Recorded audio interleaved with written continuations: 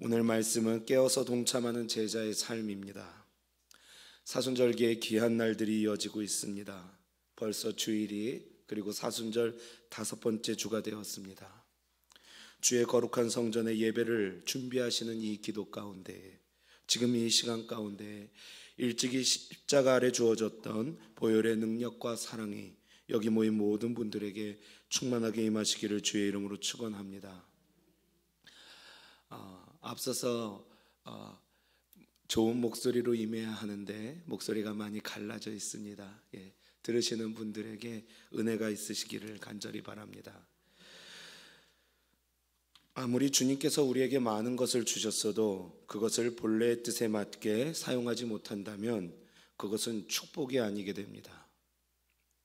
성경적인 원리로 이야기하면 축복이 도리어 저주되는 삶이 되는 것입니다. 풍요로운 삶이 물질이 하나님께서 주시는 평안이 우리의 신앙을 나태하게 만들고 하나님으로부터 도리어 멀어진 삶을 살아가게 한다면 우리는 오히려 그것으로 인해 죄악과 같은 삶을 살게 되기 때문입니다.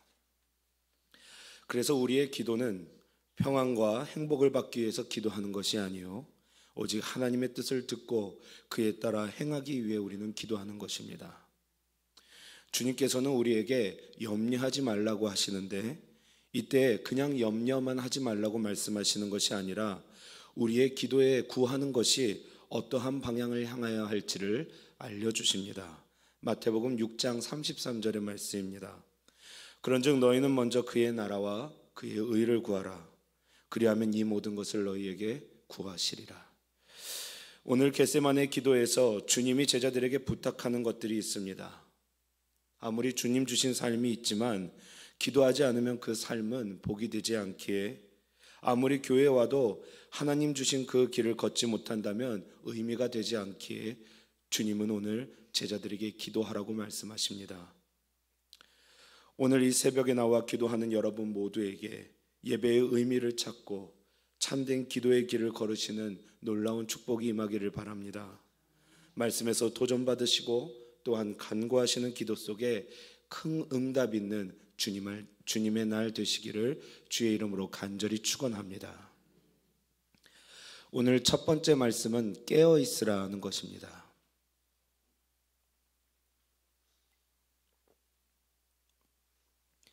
우리가 올바른 기도를 할 줄 알고 간구할 줄을 알더라도 한 가지 더 남는 문제가 있습니다. 바로 깨어 있는 문제입니다. 오늘 말씀은 예수님이 잡혀 가시기 전 그 바로 전에 겟세만의 동산에서의 일을 기록하고 있습니다. 주님은 제자들이 마지막 만찬에서 그의 고난의 길을 밝히셨고 그 제자들이 큰 충격에 빠지는 것을 우리는 이미 알고 있습니다. 베드로는 자신만은 절대로 그러지 않겠다라고 주님 앞에 항변하나 오히려 그는 주님께서 이 닭이 세 번 울기 전에 네가 나를 세 번 부인하리라고 말씀합니다. 남자들이 군 생활을 할 때 말을 안 듣는 후임을 길들이는 법 중에 하나가 있습니다. 훈련을 나갔을 때에 그 후임병에게 아주 노련한 고참과 함께 야간 근무를 맡깁니다. 고참과 함께 야간 정찰을 나가서 몸을 숨길 곳을 서로 정한 다음에 서로 멀찍이 떨어져 있는 게 야간 경계 근무입니다.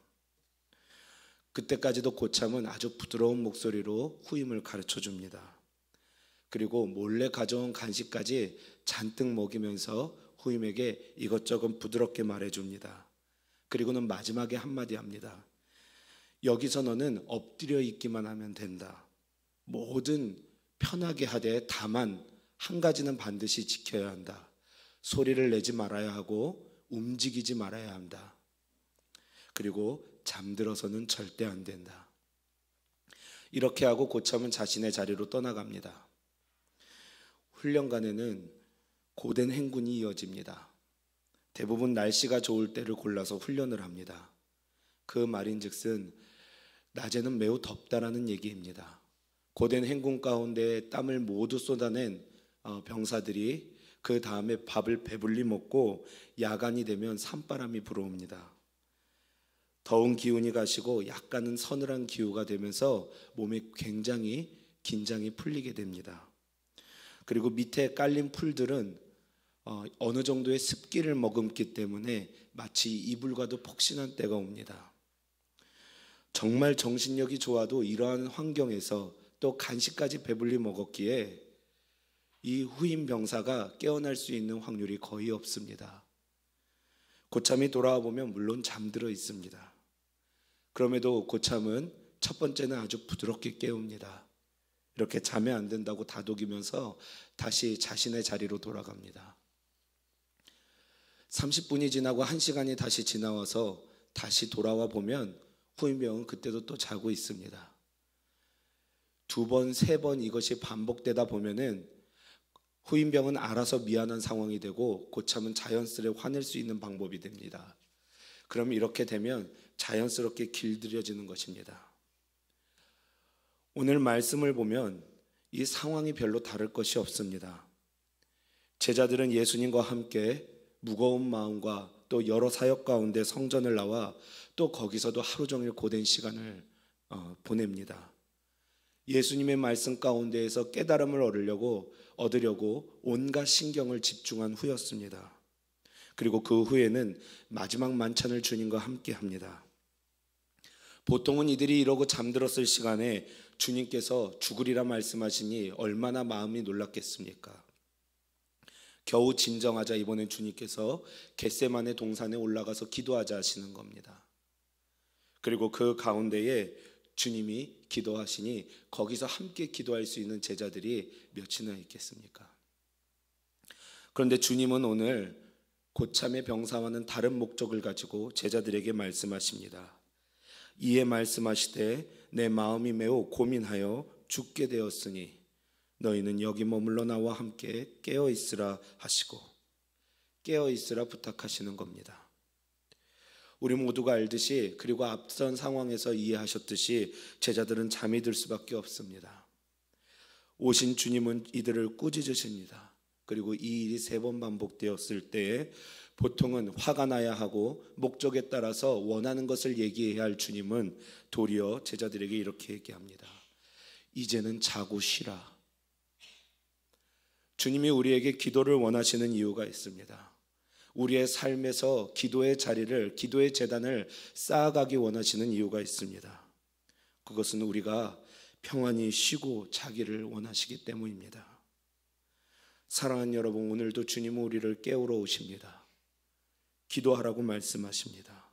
그것은 우리의 영육이 주님 안에서 평안히 자고 쉬게 하려 하시기 때문입니다. 우리는 자꾸 세상 가운데 일찍이 일어나 수고하고 우리의 영적인 부분을 잠들게 합니다. 그러나 주님은 그 반대를 말씀하십니다.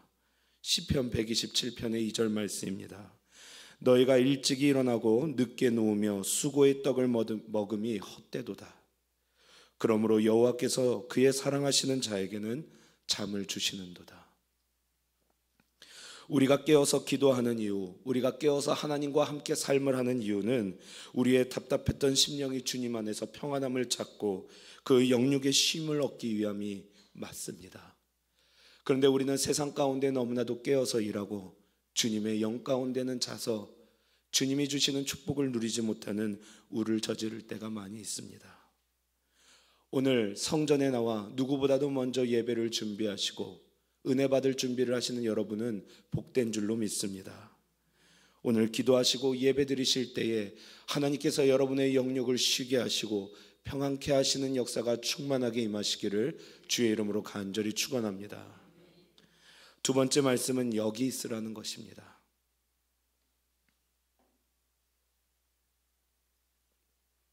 사랑하는 여러분, 어느 때이든지 주님 옆에 계셨음을 고백하고 계십니까? 우리를 기도하지 못하게 할 때가 또 하나 있습니다. 깊은 절망이 올 때입니다. 우리는 피곤할 때뿐만이 아니라 깊은 절망이 올 때도 기도하지 못합니다. 너무나 아파서 아프다는 말조차 하지 못하는 때가 있습니다. 분명 주님께 나아가 내 모든 아픔을 고백하고 주님께 내 아픔을 낫게 하여 주셔서 기도해야 하는데 머리로는 아는데 가슴이 너무나도 아파서 모든 기도와 간구를 내 몸이 거부하게 되는 때가 있다는 것입니다. 충남 청양에서 자란 한 남자의 이야기입니다.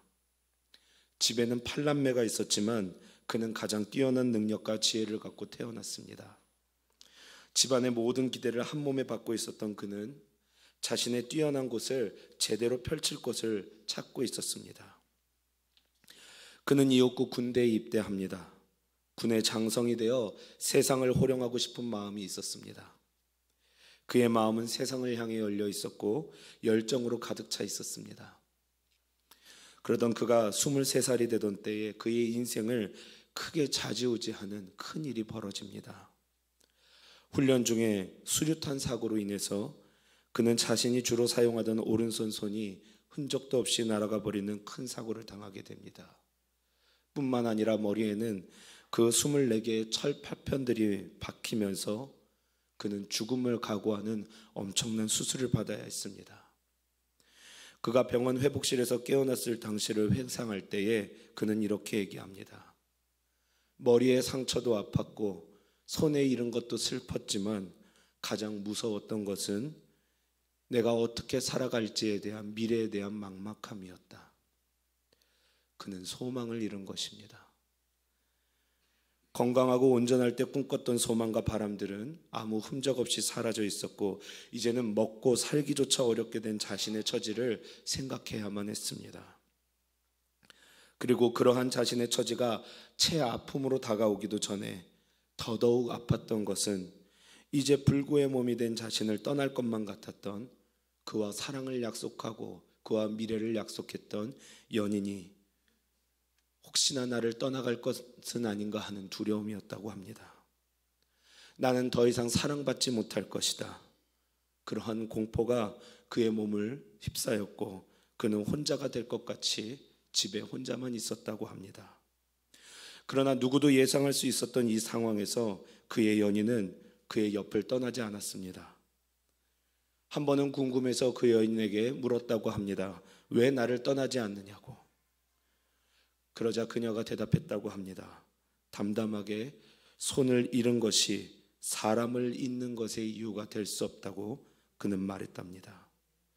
그렇게 그녀와 그는 함께 살게 되었고 감사한 것은 인생의 절망 가운데서 찾아오시는 하나님을 만나게 되었다는 것입니다. 새로운 삶을 살게 됩니다. 인생의 재임하기 시작된 것입니다. 그는 그 사랑을 기반으로 인하여서 한국에서 장애를 가진 사람으로서는 꿈꾸기 힘든 일들을 하나씩 이루어 갑니다. 그가 장애인으로서 상상도 하지 못할 가장 큰 일은 우리가 예전에 있었던 KTF사의 부사장으로 된 것입니다. 멀쩡한 사람도 되기 힘든 그 자리를 그는 장애를 가진 몸으로서 오르게 됩니다. 하나님이 주시는 새 소망 가운데 장애는 더 이상 그를 괴롭히지 못했습니다.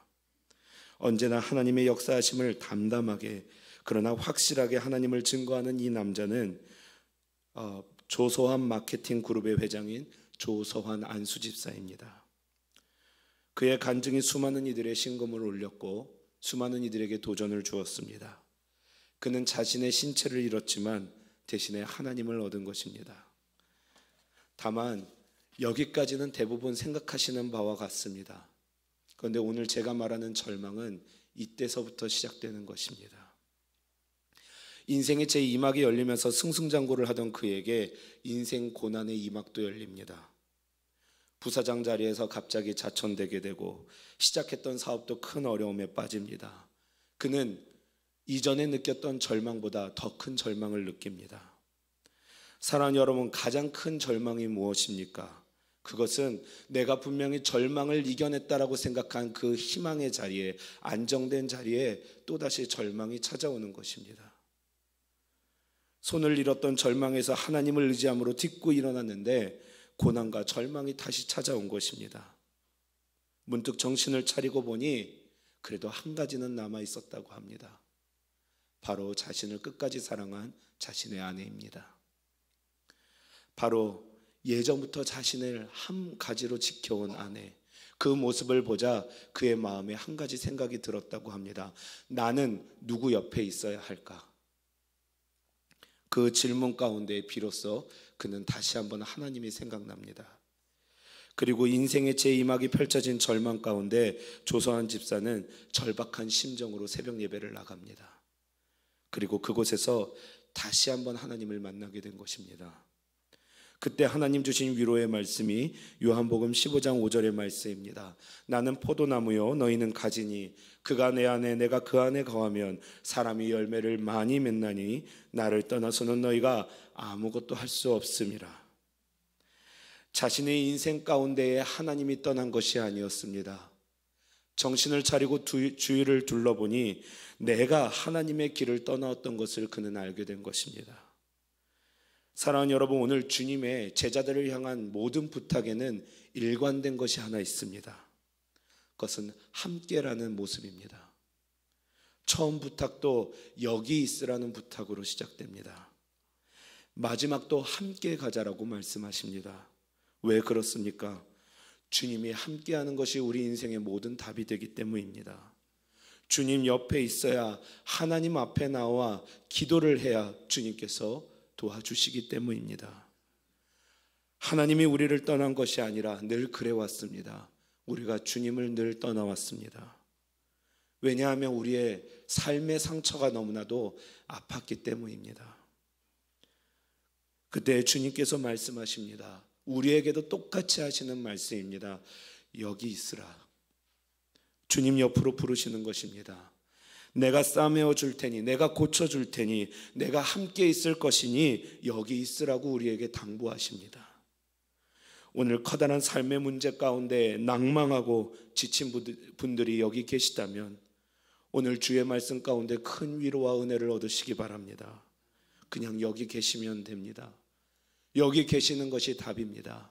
주님 옆에 거하시면서 큰 회복과 위로 얻으시는 여러분의 삶 되기를 주의 이름으로 간절히 축원합니다. 마지막 말씀은 일어나 함께 가자는 것입니다. 예전에 교회 학교에서 학생들에게 가르칠 때 전도사님의 질문이 한 번 있었습니다. 예배는 언제부터 시작되는 것인가입니다. 여기 계신 분들은 그 답을 다 알 줄로 믿습니다. 정답은 예배를 준비하는 순간부터 예배는 시작된 것과 같다는 것입니다. 예배를 이루는 모든 것이 예배입니다. 바꿔 얘기하면 예배의 시간만이 예배가 되어서는 안 된다는 이야기이기도 합니다. 같은 얘기입니다. 기도 역시 앉아서 하는 기도로 끝나서는 안 됩니다. 주님이 세 번째 제자들에게 오실 때 하신 말씀입니다. 46절의 말씀입니다. 일어나 함께 가자 보라 나를 파는 자가 가까이 왔느니라. 주님은 먼저 우리에게 일어나라고 하십니다. 제자들에게 행동을 요구하시는 것입니다. 저는 서울에 있다가 지방에 내려가서 다시 서울로 올라옴을 경험했습니다. 처음은 광화문이었고요. 두 번째는 압구정이었습니다. 둘 다 강북과 강남의 심장과도 같은 곳입니다. 광화문의 사람들은 그들의 정체성이 일로 표현되어 있습니다. 그들이 입은 옷, 예를 들어 넥타이나 구두, 서류 가방, 서류 가방과 같은 일들이 그들의 정체성을 잘 나타내 줍니다. 한번 옷차림만 보면 그들이 무엇 하는 사람인지 잘 알 수 있다는 얘기입니다. 근데 여기 와서 보니 사람들의 모습과 표현하는 방식이 달랐습니다. 여기에 계신 분들은 특히 젊은 사람들은 자신의 정체성을 기호로 표현하고 있었습니다. 다채로운 옷을 입고 자신이 좋아하는 무엇인가를 하면서 자신이 어떠한 즐거움과 삶을 우선으로 하는지에 대한 것을 늘 표현하고 있었습니다. 처음 제가 어린 친구들, 특히 이 봉사관에서 볼 수 있는 친구들을 보면서 했던 생각이 있습니다. 참 전도하기 힘들겠다. 이들은 자신이 좋아하는 음식을 먹고 옷을 사듯이 자신이 좋아하는 목사님만을 보고 자신이 좋아하는 교회만을 보고 올 텐데 자신이 좋아하는 생각에 따라 말씀을 고르는 저들을 내가 어떻게 하면 좋을까라는 생각이 들었습니다. 참으로 막막한 기분이 들었습니다. 저들에게 어떻게 하나님의 뜻을 내 입으로 전해야 하나 그것이 들리기나 할까 말까, 말까 생각하다가 보니 저도 모르게 웃음이 나왔습니다. 왜냐하면 제가 광림재단 밑에서 그 고민을 하고 있었기 때문입니다. 사랑하는 여러분, 우리는 사실 기적 위에 살아가고 있습니다. 이 강남 한복판에 세상 모든 사람들이 자신의 뜻에 사, 살아가겠다고 뿔뿔이 흩어진 이 도시에 오직 주님의 뜻대로 살아가겠다고 다짐하는 사람들이 내 삶을 헌신하여 하나님의 것을 세우겠다고 결심하는 모습이 이렇게 건물로 되어 이렇게 교회가 되어 우리 앞에 서 있습니다. 참 전도하기 힘들겠다는 생각하는 그때에 그렇지 않다고 당당히 말하는 교회 앞에 하나님의 건물 앞에 제가 서 있었음을 느꼈을 때에 저는 제 스스로가 민망해서 웃을 수밖에 없었다는 것입니다. 우리는 그 어떤 것도 정복할 수 있는 복음의 십자가의 기적을 보고 있는 사람들입니다. 우리 교회를 이끌어온 다섯 가지 신앙 정통 중 가장 마지막에 있는 것이 일치된 순종입니다. 광림교회를 이끌어온 기적의 원동력이라고 다들 말씀하십니다. 그런데 이 원동력이 어디서 시작됩니까? 결국 기도에서 시작됩니다. 성령께서 간구하는 우리를 하나 되게 하십니다. 그리고 일어나 함께 가자라고 얘기합니다. 그 앞에는 주님의 고난의 길이 펼쳐져 있습니다. 그 앞에는 주님께서 함께 하시는 아픔이 있습니다. 그러나 함께 가자고 말씀하십니다. 예배를 드리면 기도가 넘치면 우리는 함께 가야 합니다. 주님의 기도가 끝난 후에 주님은 제자들에게 함께 가자라고 말씀하시며 기도하지 못했던 제자들에게 새로운 방향을 정해 주시는 것입니다. 오늘 우리의 깊은 기도 가운데에 주님께서 우리에게 행하실 일이기도 하고 말씀이기도 합니다. 함께 가자. 오늘도 이 복된 성전에서 주님과 함께 걸어가시는 여러분의 삶이 되기를 더 나아가 사순절기 이 아름다운 절기 가운데에 주님께서 함께 하자는 그 일을 향해 자신의 기도를 완수하시고 그 나아갈 길에 헌신하실 수 있는 저와 여러분의 삶이 되기를 주의 이름으로 간절히 축원합니다. 기도하겠습니다. 사랑의 하나님 아버지, 늘 주 안에서 기쁨 되기를 원하며 기도합니다. 세상의 큰 자, 주님을 높이며 주님을 사랑하며 자신을 높이는 사람이 아니라 주께서 주신 작은 자들을 사랑하고 주께서 허락하신 이 절기 가운데 기도하며 예배하는 삶이 우리 안에 있게 하여 주시옵소서. 오늘도 예수 그리스도의 길을 따라가려 합니다. 십자가의 삶이 너무나도 아파서 때로는 우리가 기도하지 못하고 때로는 우리가 낭망하지만 옆에 있으라 말씀하시는 주님의 말씀에 따라 다시 한번 이곳에 나왔사오니 주의 말씀을 우리에게 허락하시고 위로하여 주시사 회복되는 역사가 있게 하여 주옵소서. 주님의 귀한 날입니다. 그 앞에 재단에 드리는 예물이 있고 우리의 간구의 제목이 있습니다. 그 모두를 음행하여 주시옵시고 모든 기도의 제목들에 응답하여 주시사 우리가 나아가야 할 길을 다시 알려 주시옵소서. 언제나 우리의 길 되시는 예수 그리스도의 이름 받들어 기도드립니다. 아멘.